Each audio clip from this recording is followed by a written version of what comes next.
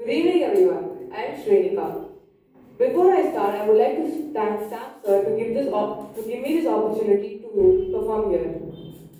Today, I stand before you to give a speech on "We are all perfectly imperfect." There are so many people in the world who are dreaming to live the life you are living right now. You have no idea. Embrace each and every breath that you're taking. Celebrate your life. Live it. Don't die before you're dead. We all die. We live this one routine of a day for 75 years and we call it life. That's not life. If you're still thinking why you have been sent here, if you're still juggling with the concept why you are here, you haven't lived yet. You work hard, you make money, you do it for yourself. That's not life.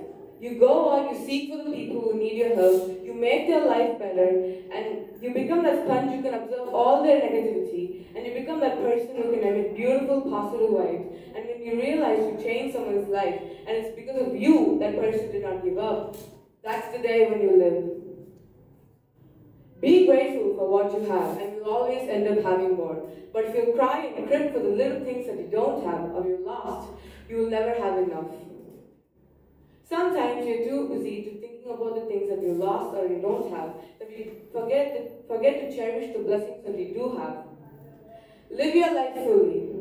Accept yourself the way you are. Be kind to yourself, and only then you'll be kind to others. Love yourself and spread, that love. Life will be hard. There will be trials and fails, but that only make you stronger. The real happiness doesn't lie on money, success, or fame. The real happiness lies on gratitude. Be grateful, be alive, and live every moment. Thank you.